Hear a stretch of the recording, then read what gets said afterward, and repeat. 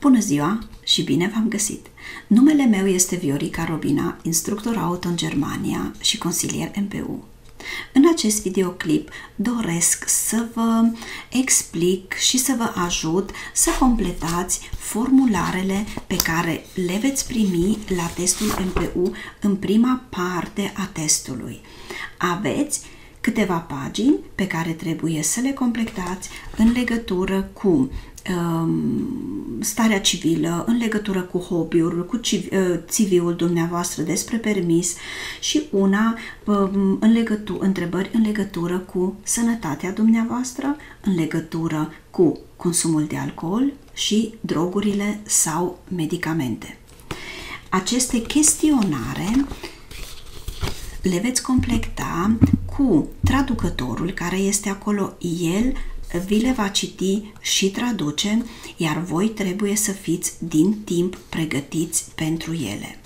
În cursurile pe care eu le predau și care le fac cu voi pentru a reuși acest test MPU, noi pregătim răspunsurile din timp.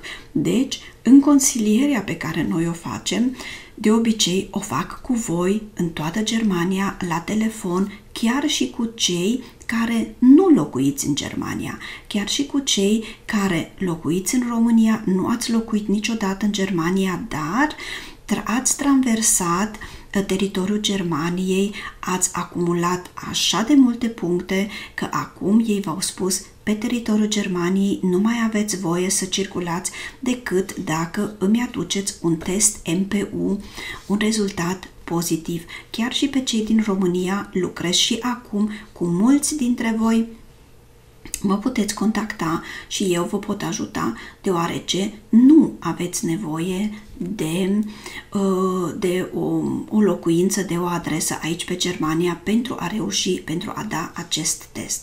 Deci, aici când completați uh, totul despre uh, sănătatea dumneavoastră, eu vă recomand să scrieți și să spuneți numai ceea ce într-adevăr este cu adevărat, știu eu, poate voi spuneți, ah, eu din când în când am tensiune, deci dacă este numai spus de medic că aveți tensiune, numai atunci puneți cruciulița la da. În rest, eu vă recomand să nu o puneți.